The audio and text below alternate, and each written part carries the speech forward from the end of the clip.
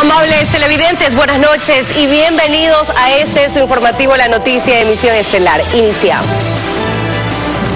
Una nueva muerte se registró en el Centro de Privación de Libertad de Guayaquil.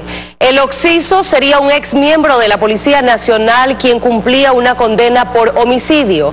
Carlos Julio Gurumendi con los detalles.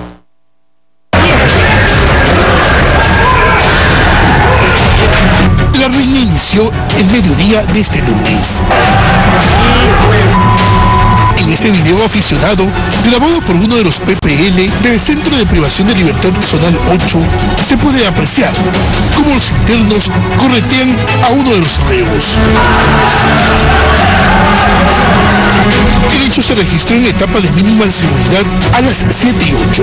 De repente, aprecia cómo uno de los internos saca el arma de fuego y le dispara al otro.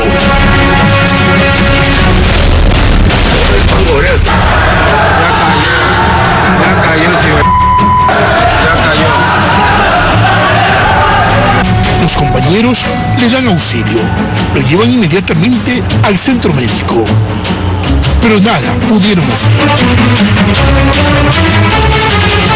Que se puede observar a simple vista, los impactos de bala sería en la parte posterior y las heridas de, cuchillo de arma blanca sería en la parte del frente, a la altura del pecho. El occiso respondía a los nombres de Álvarez LN.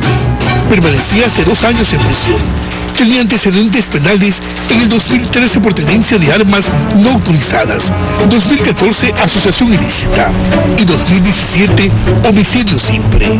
Además habría sido miembro de la Policía Nacional. Eh, información eh, de manera reservada, de manera preliminar, que posiblemente se trataría de una persona, eh, un policía, un ex policía. En cambio, el autor del crimen responde a los nombres de Mosquera Vea. Permanece recluido desde el año 2017 por asesinato.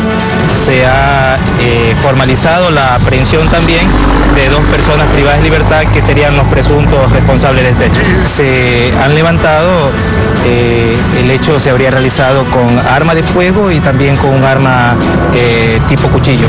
Al sitio llegaron personal de la DINASEP, criminalística y fiscalía, quienes tomaron procedimiento del hecho. Como evidencia se encontró el arma de fuego, con el cual actuó el preso, y además un teléfono celular. El cuerpo del occiso fue trasladado hasta la morgue de la Policía Nacional.